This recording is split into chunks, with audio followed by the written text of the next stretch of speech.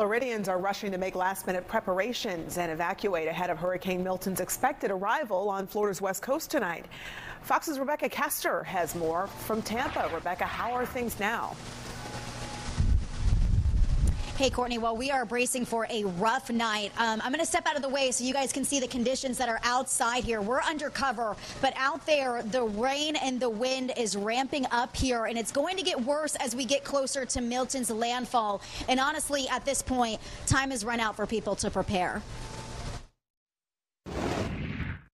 I urge everyone in Hurricane Milton's path to follow all safety instructions. Milton is coming, and President Biden says the feds are ready. The president and vice president were briefed on Wednesday at the White House as FEMA ramps up its preparations. We have made available an unprecedented number of assets to deal with this crisis. We're going to continue to do so until the job is done. You can see here hurricane hunters getting a bumpy ride as they track the storm.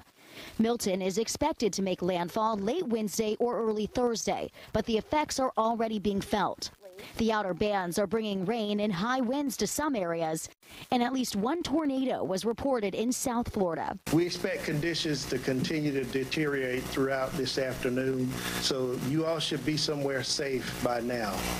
But if you're not, you need to get there now. Thousands are now under evacuation orders, but some are choosing to stay. You just go out there and camp out somewhere and ride it out, or choose to stay and try to do the best you can. But most are following guidelines from local officials. There are shelters and temporary housing set up from Florida to the Carolinas. Hotels are booked solid with homeowners watching and waiting to see what happens. It's not scary right now. It's scary thinking about what we're going to find when we go back. There are four bridges that cross the Tampa Bay. All of them are now closed. But again, most people did leave. And Tampa's mayor says this is the largest evacuation of the area that she's ever seen. I'll send it back to you guys in Atlanta. Yeah, it definitely looks like things are picking up down there. Rebecca, thanks. You can depend on Fox 5 both online and uh, on the air for continuing coverage of Hurricane Milton. Our live stream and Fox Local will be dedicated to hurricane coverage. We will, of course, have the latest on Fox 5 News tonight at 10.